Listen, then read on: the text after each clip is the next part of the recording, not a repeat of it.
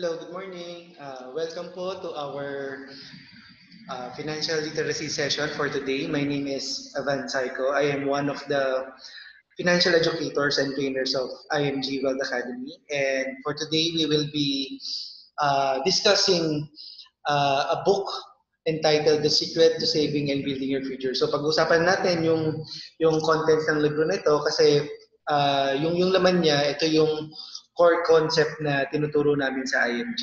Okay, so before we start now, I'll just give you a short background of myself. Um, isa akong metallurgical engineer by profession.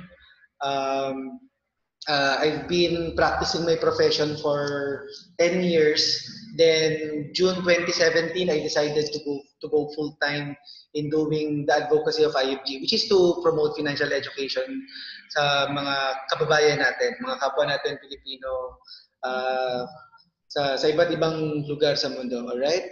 And uh, nahanap ko yung yung passion ko in teaching financial literacy which is why I decided to to go full time para at least mas marami akong oras uh, in doing this mission. And uh, this is what we do. We we promote this book para massively maka-educate kami ng maraming tao. So, ito yung pag-uusapan natin uh, for today, yung yung contents ng book. Uh, so, if you want to to get a copy of this book, uh, I will be showing yung yung contact details ko at the end of this session. By the way, this is just the first part uh, of this uh, financial literacy series. If you want to to have access to the second part, then you can also reach out to me uh, by by contacting me through Facebook or through text or call.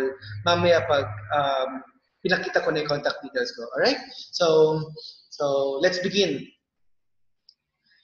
Uh, pakilala ko lang muna yung company namin. So we are IMG. Uh, it stands for International Marketing Group. So we are established in 2002 and we are one of the biggest and fastest growing financial services companies in the Philippines today.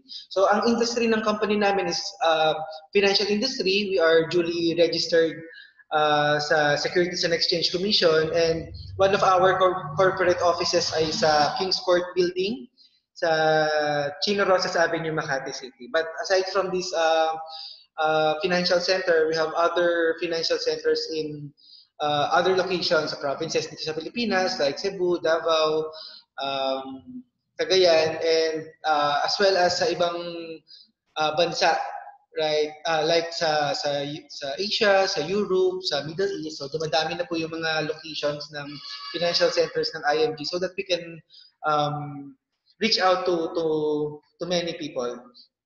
Um, we are a brokerage company. So pag sinabing broker, 'di ba, para siyang middleman. But instead of focusing on selling anything, ang ginagawa lang naman namin sa IMG is we assist people who want to help themselves achieve financial security through financial education. So we educate them, we teach them how to build a solid financial foundation then if ever they want to execute the concepts na natutunan nila from us, then dun na lang papasok yung pagiging broker ng company. Because as a broker, we have a lot of partner companies in the financial industries like investment companies, insurance companies. So, so um, right after learning, right after the education part, then uh, we can already execute the concepts that we have learned. So, kumbaga, in simple terms, IMG, um, platform siya for learning but at the same time platform din siya for execution. So ganun lang kasimple yung yung nature ng company namin. Uh, our mission is to help every family achieve financial freedom and no family left behind. So, syempre, ang goal naman natin is to become financially free for ourselves, for our families, for for the people that we love. So, so kaya yun yung yung pinaka-mission ni IMG, eh, tulungan yung mga tao na maging financially free in the, in the future. And sabi dito, no family left behind. Hindi kami namimili ng mga tao na tuturuan namin. So, kahit uh, kahit ano pa yung background ng isang tao, kahit ano yung profession, kahit ano yung source of income, or even kahit ano yung edad niya, as long as willing silang matuto from us, then we will educate them. Because naniniwala yung company na one of the major reasons reasons why Filipinos are struggling is because of financial ignorance. Kasi ang pera, dumadaan naman yan eh. Dumadaan siya sa atin. Uh, pero maraming nag-struggle, nag-struggle financially is because hindi alam kung paano i-manage yung pera na dumarating. Alright? So, if you want to improve your financial situation, so uh, we should start with financial literacy. Kaya yun naman din talaga yung focus ng company namin. So, ito yung pinaka-goal namin, yung specific goal, uh, to educate 1 million uh, Filipino families by 2020. Alright? And nilaunch namin tong goal na to noong April 2016. So, this photo was taken uh, in Malaysia sa harapan ng ng Petronas Towers, all right? And lumalapit na kami sa, sa deadline, no? But uh, we are very confident that we can achieve this goal.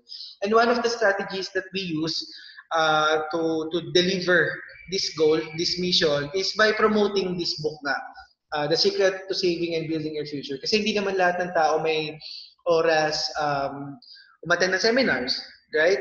But by reading the book, uh, somehow na-educate na rin tayo. So again, if you want to get a copy of this book, uh, you can reach out to me uh, once na, na na share ko na yung yung contact details ko after this uh, first session. Alright? So, some of the people na nagbigay ng forward nila dito sa book na to, yung una si Xuan Nguyen, siya yung um, parang pinaka head coach namin based in USA sa WSB and WFG. And sabi niya, we need to change, but we need understanding first. So, ibig sabihin, um, kung palagay mo meron kailangan magbago, especially sa financial life natin, then uh, we need understanding first. Kailangan ma-educate muna tayo. Kailangan matutunan muna natin kung ano yung kailangan natin gawin. Then once we do that, then the change will come. Alright? And the second person na nagbigay ng forward, I think kilala siya ng maraming tao, no? si Brother Bo Sanchez. Uh, si Brother Bo, he's a member of IMG. And sa forward niya dito sa book, kinuwento niya kung paano niya nakilala yung, yung leaders uh, ng IMG way back 2005. And sabi ni Brother Bono, this book will upgrade your financial life. So if you think that you need an upgrade sa financial life mo, then then you can start by getting a copy of this book. Tapos, uh, sisimulan natin with financial education. Alright? So the secret can be yours. So some realities lang ng mga Pinoy, no? When it comes to securing and saving their future, many good people fail, many hardworking people fail. Maraming marami tayong mga kakilala ng mga mabubuting tao naman, 'di ba? Mga hardworking pagdating sa trabaho nila, but wala pa rin ipon or baon pa rin sa utang. So bakit daw ganun? Many smart people fail, young people fail, old people, uh, teachers, engineers, and doctors fail, people of different profession they can fail. All right? Many end up retiring without enough savings. Ibig sabihin, hindi pala guarantee na yung hindi pala guarantee yung profession natin para makapag-retire tayo ng broke, uh, makapag-retire tayo ng comfortable. All right? So we can retire broke regardless of our profession, regardless of our source of income. So these people don't set out to fail. They do because they fail to plan and manage their personal finances. All right? Wala namang sasadyain na mag-retire ng broke eh. But it can happen to us kapag nag-fail tayo to plan and manage their personal finance and, and manage our personal finance. So, bottom line, um, people lack financial education. So again, this supports yung statement ko kanina no, na if you want to improve your financial situation, then we should start with financial literacy or financial education. So the second reality, many people believe that financial education is only for the wealthy. Diba? Hindi ko na kailangan mag-aral niyan kasi pang mayayaman lang naman yung financial literacy na. Many, many people think that the only solution to financial challenges is to borrow money. Di ba? Kapag naka-encounter ng mga financial problems, ang unang-unang pumapasok sa isip natin is mangutang. Alright? And that's the reality of majority of Filipinos. So, so maybe we should start um, changing this reality. Maybe we should start changing our mindset na hindi pala utang dapat yung solusyon sa mga financial problems na, na-encounter natin. Reality number three, many OFWs, they work hard for two or three or even four decades abroad, diba? Nalalayo sila sa pamilya nila, nagsasakripisyo sila. But at the end of it all, pag bumalik sila dito, they can still end up retiring poor. Parang wala pa rin na, na, na, naipundar. All right. So this is a reality that uh, urges IMG to focus on educating OFW. So mga OFWs isa yan sa mga target uh, groups namin to educate. All right? Kasi gusto namin na matulungan yung mga OFWs natin na makapag-prepare for the time na babalik na sila for good for good dito sa sa bansa natin para makasama na nila yung pamilya nila. All right? And reality number four, um, do you know na if you save 13, uh, your 13th month pay for just 6 years, imagine, 6 years ka lang na mag-sacrifice ng konti, then let your money grow and compound in your savings and investment. In 40 years, or kahit nga hindi 40 years, eh, in, in 20 to 30 years, it will become millions. Totoo po yan. Alright? So, ibig sabihin, if we sacrifice a little, we can already change our life. Hindi naman kailangan habang buhay yung sacrifice. Eh. But we, if we sacrifice now, uh, setting aside our 13th month pay for six years, then you're already changing your life. You're, you're already giving yourself a chance to retire comfortable. Diba? When, when, when you grow up. Or when you grow old. Alright? So now we will go to the to the contents of the book. We will discuss chapter by chapter. Although, syempre, hindi naman madi-discuss lahat. Alright? But uh, as we run through the chapters, I'm pretty sure na marami na kayong makukuwang information and mas mas gugustuhin ninyong ma- magkaroon ng copy ng libro na to. Alright? So chapter 1, knowing the basic financial concepts. So basic muna tayo. So sabi dito, financial independence is not only a dream, it is a priority that every person should aim for. Actually, it is a decision that every person should should make. Alright? So kung gusto mo maging financially free, you need to decide na gusto mo siya and you need to prioritize it regardless of your age, regard, regardless of your background. Alright? So take control of your future by learning how to make money. Alam na natin yan, kumikita na tayo ng pera eh. But after that, ang responsibility natin is to learn how to save money.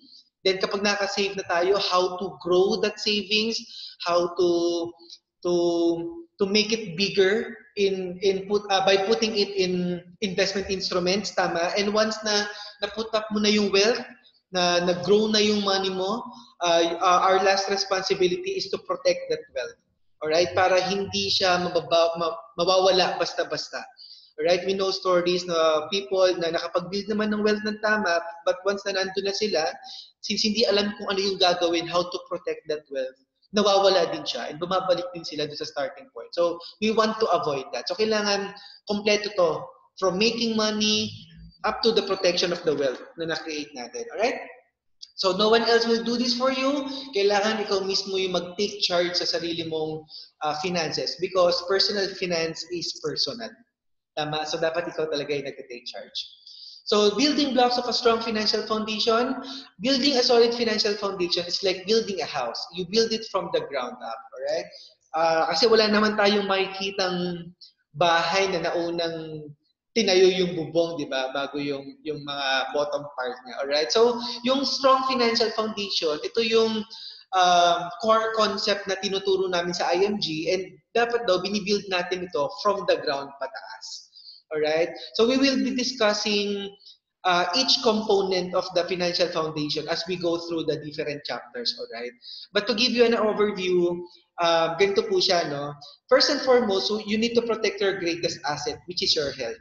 All right. So diyan po papasok yung discussion about healthcare, both yung short term and long term. Syempre because before anyone else, dapat ikaw muna. Kasi ikaw yung kumikita ng pera eh.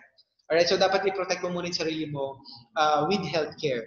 Then next, you need to protect the people that you love, especially in the event na kuhain tayo ni Lord na maaga. So dyan naman papasok yung discussion about life insurance. Especially for breadwinners, napaka-importante po niyan. Then next, we, we need to manage our debt because yung debt daw, yung utang, yan yung anay ng financial house natin dahil na rin sa laki ng mga interest rates ng mga loan facilities, pag hindi natin na-manage ng tama yung utang natin, it will eat up our financial foundation and eventually magko-collapse siya. Alright? Next, we need to have an emergency fund separate uh, sa ibang pera natin and ang sole purpose niya is to be used for valid emergencies. Dapat hiwalay siya and gagamitin lang siya for valid emergencies.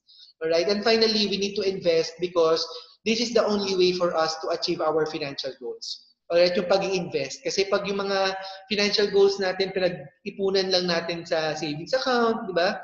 Uh, tulog yung pera natin. Sayang yung potential niya to grow. Alright, so we need to learn how to invest and where to invest. Alright, so pag-uusapan natin lahat yan mamaya. So, um, dapat daw we should consider yung healthcare and protection as a priority. Bakit?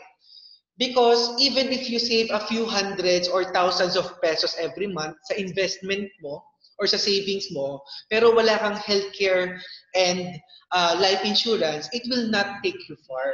Ibig sabihin, merong pwedeng mangyari sa atin. Pwede tayo magkasakit or namatay si breadwinner na kahit may investment yung taong yun, mababaliwala eh. It will not, it will not take his or her family far.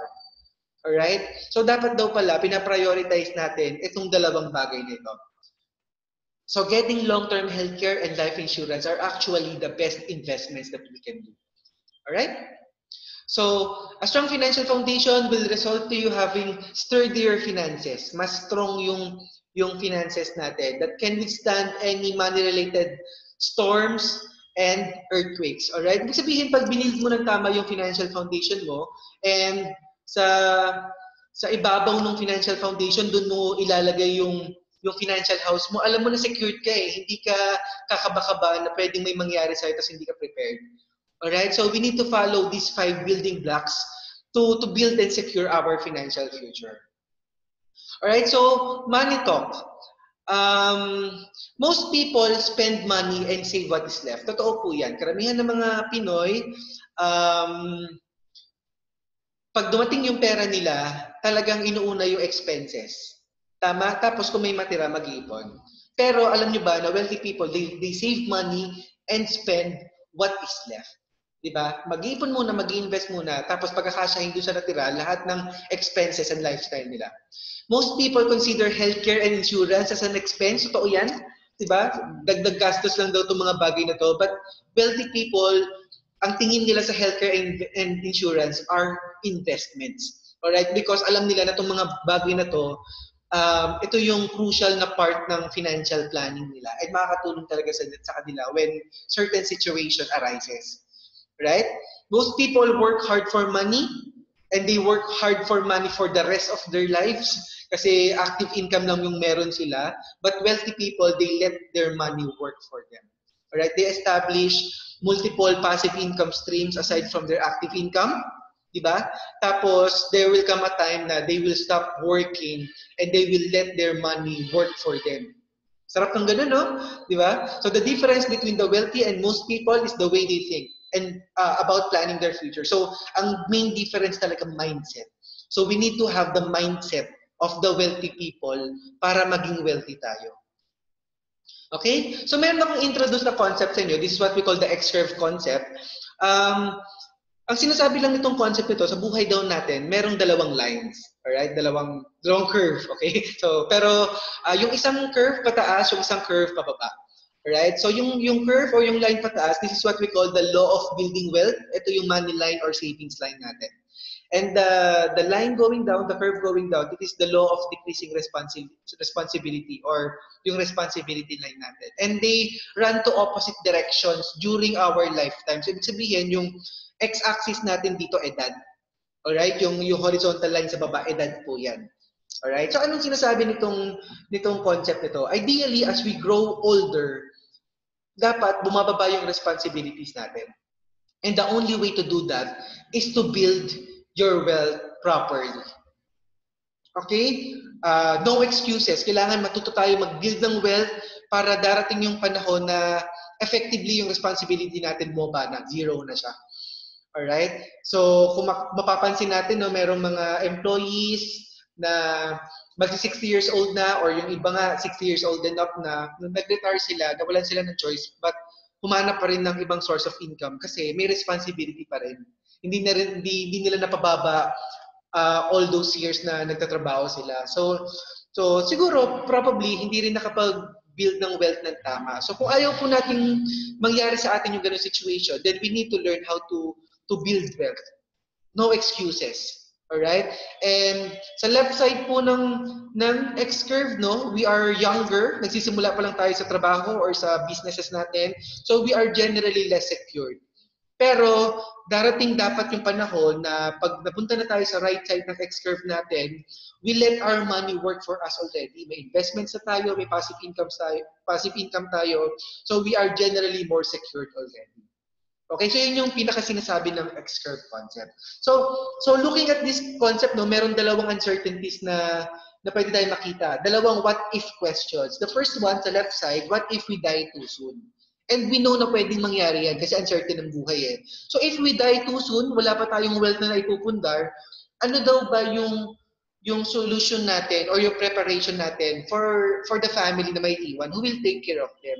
Ang solution po dyan, simple lang. Protection in the form of life insurance. And mamaya pag-uusapan po natin to na medyo mas detalyado. Now, yung sa right side naman ng X-curve, uh, medyo may edad-edad na tayo, di ba? So, what if we live too long naman? Who will take care of us? Alright, so dalawa naman po yung preparation for this. Um, retirement fund na nasa investment, this will uh, sustain our lifestyle even if we are not working already when we retire, and yung long-term healthcare. Dapat po hiwalay yan. Kasi yung long-term healthcare, yan po dapat yung gagamitin natin for our medical expenses when we get old. Hindi dapat yung retirement fund yung ginagamit kapag nagkasakit eh. Kasi one major illness lang, pwede niyang i-wipe out yung retirement fund mo. So dapat hiwalay sila. Alright? Dalawang bagay yung preparation. Okay? So let's go to chapter 2 choosing the right healthcare. Ayan, so pansinin nyo, umaakit na tayo dun sa, sa financial foundation. So, in the Philippines, a lot of sick people die, hindi dahil walang gamot, walang doktor, walang hospital. Anong wala? They don't have the money to pay for these costs. Alright? They can afford these, these costs. Tama? So, so nakakalungkot no na marami po namamatay na na hindi man lang po na-admit sa hospital kasi wala talagang pambayad. Alright? And kung kayo tatanungin, no, if you want, uh, kung, kung magkakasakit tayo, where do we want to be confined? Saan natin gusto ma-confine? Sa executive daw ba, sa pay ward, or sa charity? Okay? Siyempre, kung tayo tatanungin, gusto natin sa executive. Parang, parang hotel yan eh. Di ba? No? Uh, pero mako-confine lang tayo dyan kung afford natin. If we have preparation for our health healthcare. Alright? Kasi majority of Filipinos walang preparation for healthcare, maswerte na silang maka-payward. A lot of Pinoys walang preparation for their medical expenses in the future. Ang bagsak nila charity talaga or minsan nga hindi na talaga nakakatungtong sa hospital. So now you have the power to decide kung saan mo ma-confine kasi alam mo na dapat kung ano yung gagawin mo. You need to prepare for your healthcare. Okay? So how do we do that? So let's let's take a look at the final test of a good healthcare product. Ito daw dapat yung mga features ng isang magandang healthcare product. Okay? Number one, does it have both short-term and long-term healthcare? Kasi meron pong dalawang klase ng healthcare, short-term and long-term. Tayo mga Pinoy, ang kilala, ang kilala lang natin kadalasan is short-term. Diba? Kasi ito yung kadalasan na benefit natin as employee sa mga trabaho natin. Yan si IntelliCare, si MaxiCare, si Fortune Care, mga traditional na health card eh. Bakit sila short term? Kasi they uh, we can uh, they can only cover us for as long as we are connected to the company na nagbibigay sa atin ng benefit na yon. The moment you resign or you retire, hindi mo dala-dala yan. Unless i-shoulder mo siya personally, which is medyo costly, di ba? So, yun yung short-term healthcare. Eh, what if we get old? Nag-retire na tayo at hindi na tayo kayang i-cover ng kahit anong short-term healthcare product? So, dun dapat papasok yung benefits ng isang long-term healthcare. Because a long-term healthcare, this is, this is a healthcare fund na pinuput up mo ngayon for your future medical expenses. Kasi wala makakataka sa pagkakasakit when we get old. So, dapat daw para ang isang healthcare product maging maganda, kailangan meron siyang short-term and long-term features. Alright? Meron pong ganyang klase ng product. Number two, does it have guaranteed renewal? Karamihan ng mga healthcare products, yung mga short-term, hindi guaranteed ang renewal kasi it depends on the consumption. Diba? Kapag tumataas yung, yung usage ng isang tao, the following year, pag i-renew na, the, the healthcare company has the option na hindi na siya i-renew kasi liability siya eh. Lumalaki yung cost eh. Kasi nga madalas gamitin. Or kung i-renew man yan, um, pwede nilang taasan yung premium. Alright? So, kailangan daw yung isang healthcare product, uh, meron siyang guaranteed renewal para masabi na maganda siya. Meron pong ganun. Right? Number three, does it have guaranteed savings and investment? Kasi karamihan ng health, uh, short-term healthcare products, meron kang coverage for this year, pero kapag hindi ka nagkasakit, yung coverage mo, wala na yon when you renew it next year. Panibagong coverage na lang ulit. Hindi nakikarry over yung coverage for this year, di ba? So kumbaga, wala siyang savings and investment component. So meron pong healthcare products na aside from being a healthcare, pag hindi natin nagamit, if we remain healthy within the year, then uh, nakikarry over yung funds natin as savings and investment to the to the succeeding year. Alright? Para at least hindi nasasayang. Lumalaki siya, lumalago. Alright? And finally, yung fourth feature, does it have life insurance or protection? Meron na pong mga healthcare products na meron po silang insurance component para at least pag namatay si policy holder or yung may yung yung covered nung nung healthcare product then merong instant money na makukuha yung yung family niya. Alright, yun po yung yung purpose ng insurance component ng product na yun. So again, for for uh, healthcare product to be considered as good, alright, kailangan meron itong mga features na ito. Alright, so let's remember that.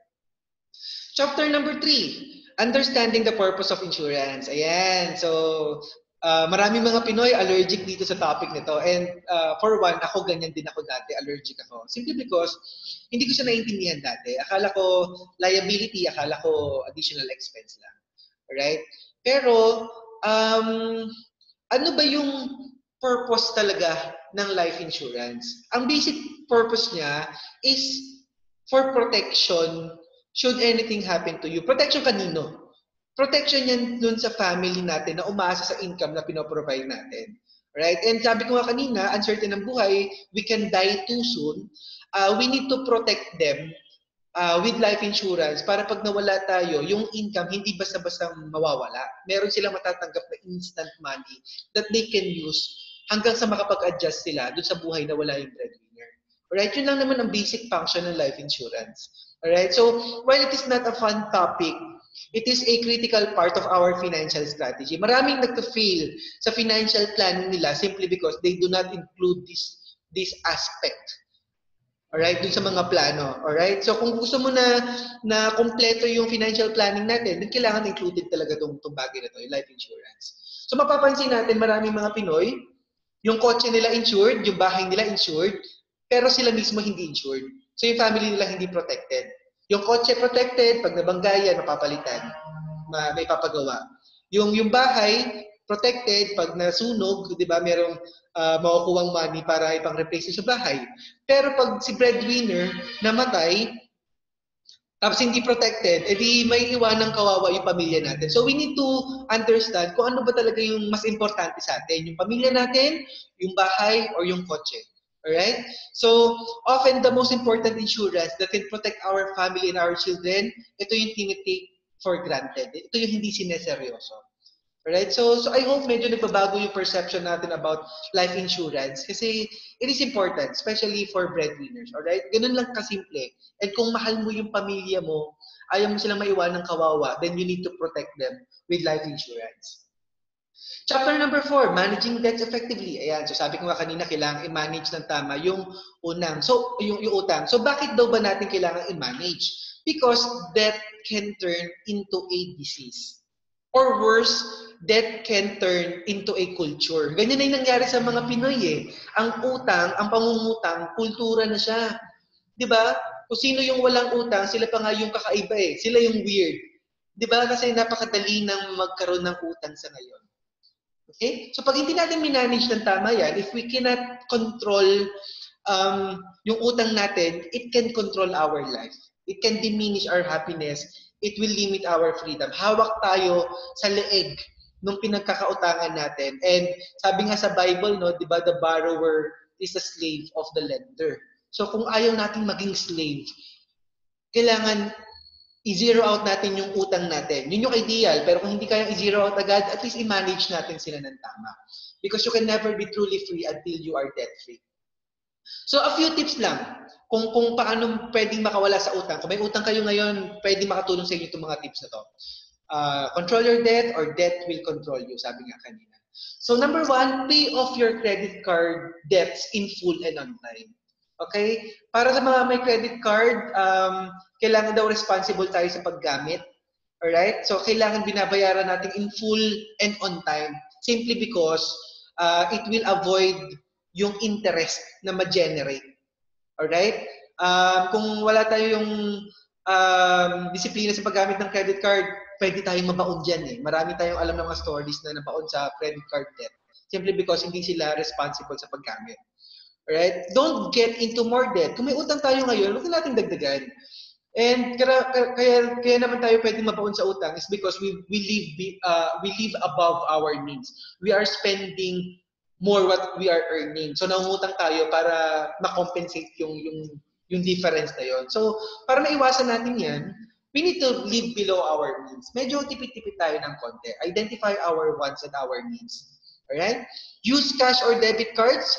Kung, kung medyo tagilit sa paggamit ng credit card, no, pwedeng cash or debit card yung gamitin. Kasi uh, limited yung purchasing power natin kung magkano yung hawak mong pera or kung magkano yung laman ng debit cards mo. Alright? Para at least medyo mas madedevelop yung disiplina kapag ito yung ginamit natin. Spend on necessities, not on luxury. Sabi ko nga kanina, no, identify your wants and needs.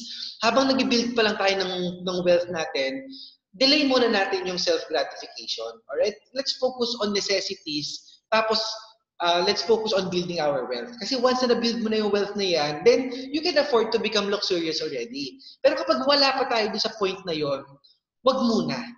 Alright? Darating tayo dyan. Be patient. Make a list of all your debts and pay them off one at a time. Kailangan aware tayo lahat ng utang, utang natin. Kasi once na may makalimutan ka dyan, pag meron kang hindi binayaran, uh, lagot na tayo sa mga interest. Alright? Pwede, pwede na tayong mabaon. Um, increase your cash flow. Ito sobrang effective to. We need to increase our cash flow by reducing our expenses and increasing our income. Right? So kahit employee, employee tayo ngayon, merong active income, ang mindset dapat natin, we need to establish uh, uh, other sources of income. Kasi yung additional income na yun, yun yung gagamitin natin sa pagbabayad ng utang. Alright? Consider liquidating your savings and non-income producing assets. Um, for example, may utang kang 10,000 pesos, tapos may savings kang 10,000 pesos sa ATM. Alright? I'm pretty sure konti lang yung tao na willing na ipambayad yung ipon nila dun sa utang. Alright? Karamihan, hindi willing gawin yon kasi masakit yun eh, di ba? Pag ginawa mo yon parang back to zero ka na naman kasi na zero yung savings mo. But come to think of it, maganda siyang strategy kasi na zero out mo din yung utang. Ibig sabihin, hindi na siya nag-incur ng, ng interest. Tama? So once na zero na yung utang, then simulan na lang natin ulit mag-ipon. Kasi walang sense na ipon tayo ng ipon pero meron tayong utang na hindi sinesettle. Diba? Bali wala siya. Kasi mas mabilis mag-grow yung utang natin kaysa sa savings natin. Okay? Change your money mindset. Sabi nga kanina, yung difference ng wealthy people and majority of the people is the mindset. So, so we need to change the mindset. That is not a solution, but an obstruction. Once na nang, nangutang ka, it will obstruct you from achieving your other financial goals maaaring ma-achieve mo yung isang goal by by borrowing money, pero paano naman yung iba? May hirapan ka na. Okay? So let's let's change the mindset. And of course, you can prepay your mortgages para we can minimize on interests. Okay? Pwede pong strategy yan. So I hope makatulong sa inyo yung mga tips na binigay ko sa inyo. Alright, so chapter 5, building an emergency fund. Sabi ko nga kanina, uh, we need to have separate money for for valid emergencies only. Yun yung sole purpose nitong pera na to. Because no matter how much we plan in life, the unexpected things still happen. Di ba? So, uh, to prepare for life's little disasters daw, no? yung nawala ng trabaho, may nagkasakit sa pamilya, may namatay, nagkaroon ng catastrophe, di ba? We need to have money that we will use for these things. Alright? Kasi mahirap pang abutan ng emergency tapos wala kang emergency fund, dyan tayo pwede mabaon. So we teach people, save 3 to 6 months equivalent of your total expenses, yun dapat yung target mo na emergency fund. So halimbawa, kumikita ka ng 20,000 per month, dapat pala ang target mo na emergency fund is 60 to 120,000. Okay, I know malaki siya, and hindi ko naman sinasabi na 3 to 6 months kang wag gumastos, 'di ba, to put up the emergency fund. But it's a long process. Ang sinasabi ko lang, habang wala pang emergency sa ngayon, kailangan simulan mo siya agad. Di ba? Kahit 500 per month, 1,000 per month. Pag medyo nakaluwag-luwag sa budget, lalakihin mo yung nilalagay mo sa emergency fund mo hanggang ma-achieve mo itong target na amount na ito. Alright? Para hindi tayo abutan ng emergencies na wala tayong magagamit. May iwasan natin mangutang. Alright? So chapter 6, saving the right way. Alright? Kailangan daw pala matutunan natin mag-ipon ng tama. Because ito common to sa mga Pinoy. I hope, uh, I'm sure marami nakaka-relate dito. I've been working hard all my life, but I wasn't able to save anything. Where did my money go? Diba no? Tagal na natin nagtatrabaho, dumaan na yung pera, pero parang wala pa rin tayo naiipon. Saan ba napunta yung pera na yun? Alright, ngayon naalamin natin. Ito daw kasi yung wrong savings formula. Eh, ito yung common na formula ng mga Pinoy.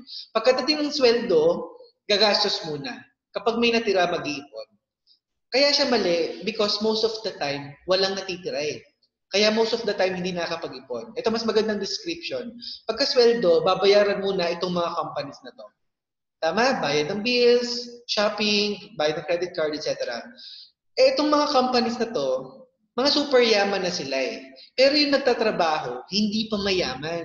So we need to realize na mali itong formula na to. Kasi ang unang-unang ginagawa natin pagdating ng sweldo, ay payamanin lalo yung mga companies na super yaman na bago payamanin yung nagpapakahirap sa pagtatrabaho. Alright? Don't get me wrong. I'm not saying na wag magbayad ng bills, wag mag-shopping. Hindi yun eh. Ang sinasabi ko lang, as long as ganito yung formula mo, hindi hindi ka makakaipon. Alright? So we need to replace this formula. Ito daw dapat yung tama. Pagkasweldo, save muna, invest muna. Then whatever's left, dun pag pagkakasyahin yung expenses and lifestyle. So sabi nga, pay yourself first in the form of savings. Sinabi na to kanina eh, di ba yung mga mayayaman, ganyan ang ginagawa? So, ibig sabihin, ngayon na alam na natin to, pag ginawa natin siya, yan din yung magpapayaman sa atin. Alright, so I hope we we correct yung savings formula natin. We use this formula. Alright? Or, better yet, gamitin natin yung better savings formula. Mamaya papakita ko, no? So sabi pala ni Warren Buffett, do not save what is left after spending, but spend what is left after saving. Yan. So sabi na kanina yan. Ito daw yung better savings formula. This is what we call the prosperity formula. And in fact, si Brother Bo Sanchez tinuturo dito. Ang tawag niya the abundance formula. So pagkasweldo daw natin, 100% of our income, ang unang-unang babayaran daw natin si Lord. So dyan papasok yung tithing and sa Old Testament, 10% siya. Okay? Pero yung tithes, it depends on the faith of the person. So kung magde-decide ka na hindi mag-tithe, it's okay. Siguro. Pero personally, naniniwala ako na we need to tithe because uh, we need to give back. Alright? Yun naman din talaga yung one of the purposes of money is to to be used to love other people. So, we need to tithe para meron tayong pera na gagamitin to do God's work. Alright? So, kung magde-decide ka na mag-tithes ka, dapat una siya. Alright? And we recommend 10%.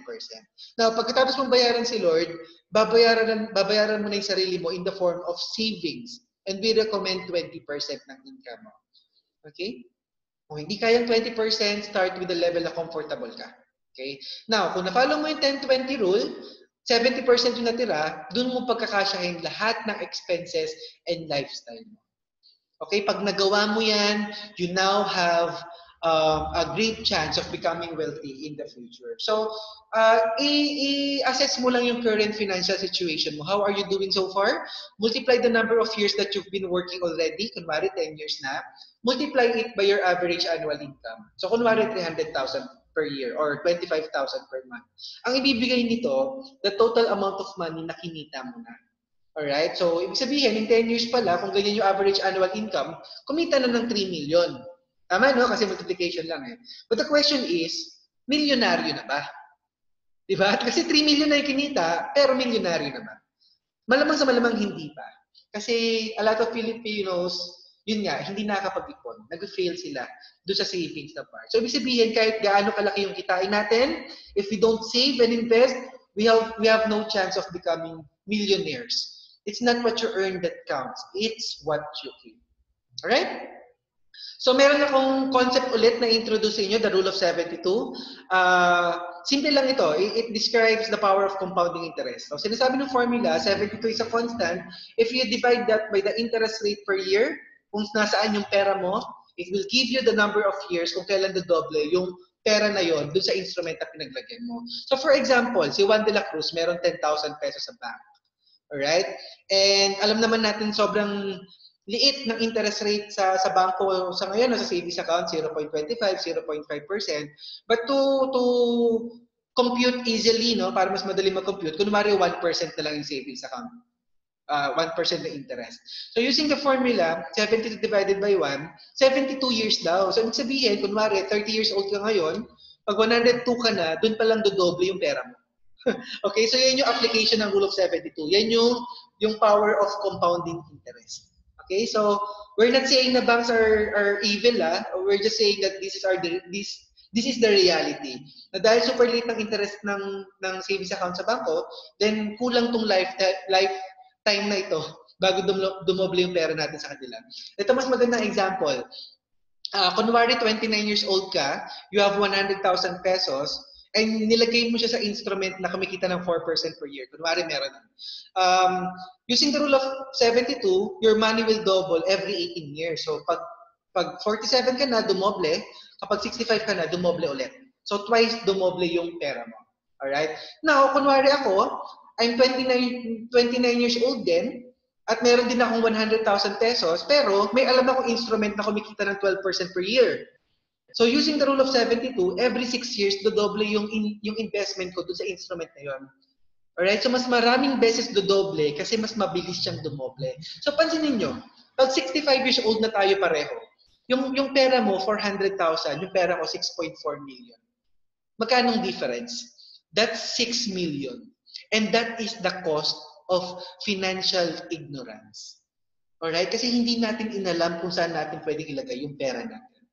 Okay? So people who don't understand how money works, they will end up working for money for the rest of their life kasi magre-retire sila na hindi pa rin sila prepared. But people who understand how money works, they let money work for them and there will come a time na kahit hindi pa sila ganun katanda, they can stop working already because their investments will will take care of them. Okay? Maganda bang idea yon?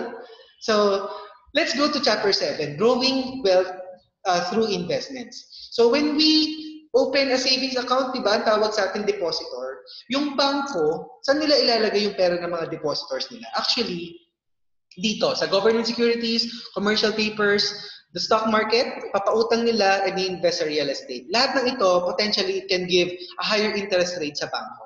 Now, kunwari, kumita ng 12% in a year yung investment ng bangko, magkano yung ibabalik na sa mga depositors nila? E di yung interest lang ng savings account, 0.25, 0.5%. So, ang laki ng kinikita ng bangko. Tama? Ang laki ng kinikita nila. So, instead of being a depositor, why not become a shareholder by investing in mutual funds? Okay, yung mutual fund, isa siyang legitimate na investment instrument. Uh, they are highly regulated by the Securities and Exchange Commission. May mga mutual funds tayo na more than 30 years na sa Pilipinas. And maraming nag-retire comfortably because ang strategy nila before is to invest their retirement funds sa mutual funds. Okay? So so legit yan. You can uh, research about it uh, online or you can ask uh, uh, people who are knowledgeable about investment. So, familiar sila dyan sa mutual funds. Now, pag nag-invest tayo sa mutual funds, shareholder nga yung tawag sa atin, saan ilalagay ni mutual fund yung pera ng mga shareholders? Actually, dito din eh. Pero hindi sila allowed magpautang and hindi rin pwede sa real estate. Pero dun pa rin sa government securities, commercial papers, and the stock market. Na kapag kumita ng 12% yung investment ng mutual funds, magkano ibabalik niya sa mga shareholders niya? Eh di 12% din. Kasi shareholders sila, eh. they are part owner of the company. So kung magkano kikitain ng mutual fund investment, yun din yung kikitain ng shareholders. Pero syempre, proportionate yan kung magkano yung ininvest ng tao dun sa mutual funds. Alright? Pero, yun nga, lahat ng shareholders, equal sila 12% lahat. Okay? So, ano mas maganda? Maging depositor or maging shareholder? So, definitely, definitely maging shareholder. So, ang tanong na lang dyan is, do we know how mutual funds work? Uh, given na maganda mag-invest sa mutual funds. And at this point, hindi natin siya uh, discuss in detail. Alright? So, if you want to learn more about this, then you can get a copy of the book. Kasi maganda yung discussion ng mutual funds dun sa libro na yun. Okay? And finally, chapter 8, understanding, understanding retirement and estate planning. ito na yung yung protection na part ng wealth natin, preserving our estate. Because we need to protect the wealth that we built. Uh, we need to protect our future para hindi mabaliwala yung pinaghirapan natin. So ang ang kino-consider ng estate planning, kanino mapupunta yung bahay, kanino mapupunta yung mga bank accounts, businesses, 'di ba? Paano ma-minimize yung taxes? Uh, paano hindi uh, mababaliwala yung pinaghirapan? Kasi according to the law, may karapatan yung government na nakamkamin yung mga properties na naipundar natin if we don't have the the money to pay for the estate tax. Parang ganun. Alright? So, so ito yung mga bagay na kino-cover ng estate planning and in IMG we also teach this, yung estate planning. Okay? So, um, these are the concepts that we teach in IMG. Yun yung laman ng libro. Again, if you want to to learn more, if you want to get a copy um, uh, of this book, then you can reach out to me. All right? And if you want to know what to do next after this session, remember sabi ko, this is just the first session of a two-part series, then you can also reach out to me. Okay? Kasi I can give you access to the second part. Alright? Doon nyo malalaman kung ano yung pwede nyo magawa after the education part. Alright? And And IMG can help you improve your finances. IMG can help you achieve your financial goals. Okay, so you can you can reach out to me by texting me or calling me, or you can add me on Facebook. Um, in IMG, we are promoting that 2019 is the year of focused action. Okay, so I am encouraging everyone to take action for for our future and the future of our family all right? To, for us to achieve our financial goals. So i hope you you, you learned something from me dito sa first session and you will learn a lot more uh, if you can access the the second part of the two part series all right? So again i am uh, Jan Evan Psycho thank you so much for listening and god bless